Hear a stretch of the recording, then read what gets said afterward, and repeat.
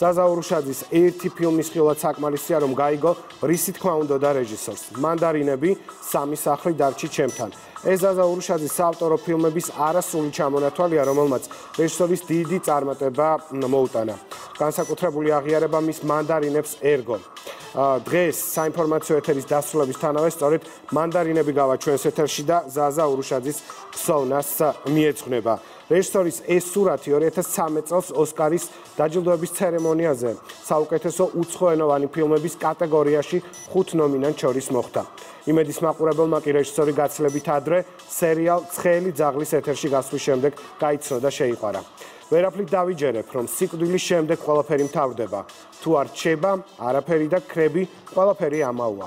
ეს არის ფრაზა ზაზაურუშაძის ერთ-ერთი ბოლო ინტერვიუდან. კეთი ფარცხალაძემ გადაავლო თვალი რეჟისორის შემოქმედებას.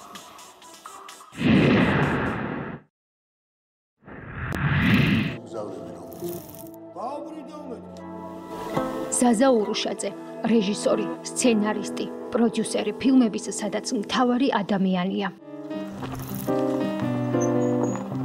მისი წარმატება როგორც თავად ამბობდა გულწრფელობაში იყო. მოვდივარ. ნიჭიერია პროფესიონალია სხვა საკითხია, მაგრამ ყოველ შემთხვევაში მე მგონი გულწრფელი უნდა იყოს, რაც აწუხებს ის უნდა გააკეთოს რა, დაწეროს, გადაიღოს. აი, მოემზადე. როგორც ჩანს, კარიერის დასაწყისშივე ადამიანის პიროვნული განვითარება აწუხებდა. მისი სადებიუტო ფილმი მოზერძია, რომლის განვითარება ოჯახური კონფლიქტის ფონზე ყალიბდება. 1998 წელს გადაღებულ ფილმში აქტენდება უსაფრთხოების სამსახურის უფროსი არჩევანის წინაშე დგება განაგრძოს სახელმწიფო სათავეში.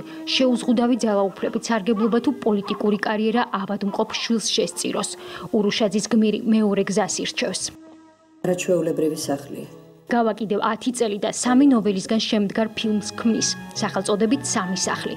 მათ საერთო იდეა ერთი ნახატი აერთიანებთ სამ საუკუნეში დაუბრიდა უმეტი.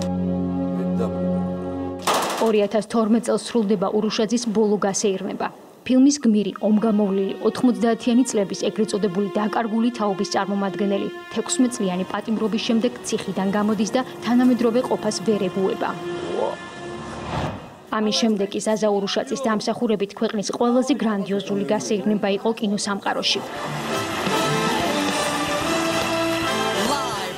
ხუთეულში ვარ დადგება რაღაცას გაპარს მოსათმობ და In the best foreign language film category ქართული ფილმი მანდარინები გლობუსისა და ოსკარის ნომინაციებშია. სწორედ იმიტომ, რომ აქ ძლიერი ჰუმანური მესიჯი იყო. ზაზა ურუშაძე ომს ადამიანური ყოფით აღწერს. პირად და ქვეყნის ტკივილზე სოფლიოს უყვება. I'm Zaza Urushaze from Georgia, I'm director of Tangerines. ეს ამტკივნეული თემა იყო, რომ ჩვენ დავკარგეთ ჩვენი ძალიან საყვარელი ტერიტორია და მე დავკარგეთ ძალიან ბევრი მეგობარი ამ ომში და ომში იქცევა სტატისტიკას და ამიტომ მე ფილმი გადავიღე ადამიანებზე, რომლებიც არიან განუმეორებლები, ცხოვრობენ ერთხელ და ცალ-ცალკე სამყაროა ყველა ადამიანი.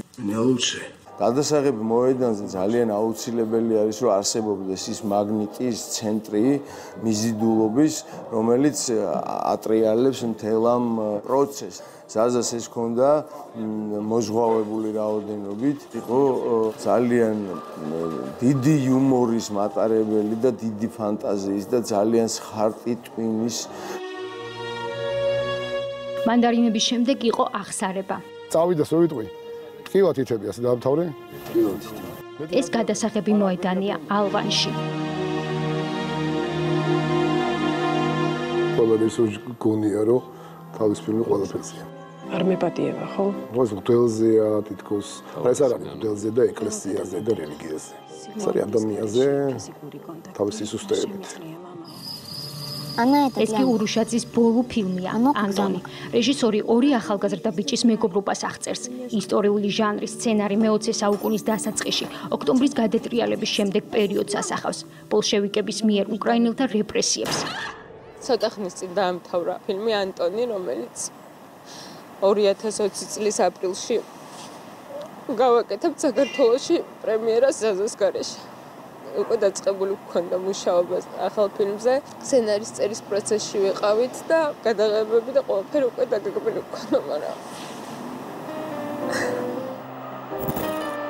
ზაზა ურუშაძის რეჟისურაა ერთ-ერთი ყველაზე პოპულარული ქართული სერიალი ქართულ ტელესივრცეში ცხელი ძაღლი, რომელიც მაყურებელმა ტელეიმედის ეთერით შეიყვარა.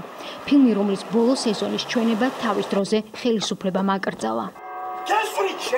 ახალი რაღაც დაიწყო კინოხელოვნებაში მისი მოცულით.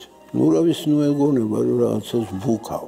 ეს ნამდვილად ასე. სრულიად სხვა მოტივები შემოიტანა დოკუმენტალური მიდგომა მხატვრულ ფილმში კადრის გენიალურობა, რა ვიცი, საოცარი დანახვა სამყაროსი, ამბის ეპიზოდის დაუგნებული ვარ.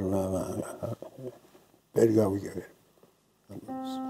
ზაზაურუშაძე ამერიკის კინოაკადემიის წევრი გახლდათ. მიმდინარე წლის სექტემბრამდე საქართველოს კინოაკადემიის პრეზიდენტი იყო. რეჟისორი 53 წლის ასაკში გარდაიცვალა. ძალიან ძალიან ძალიან ძალიან დიდი დანაკლისია ქართული ქართული ფილმისთვის და რა ვიცი, ჩვენთვის პირადად მეგობრებისთვის. ნამდვილად ძალიან ბევრი გაკეთება ვერ მოასწრო.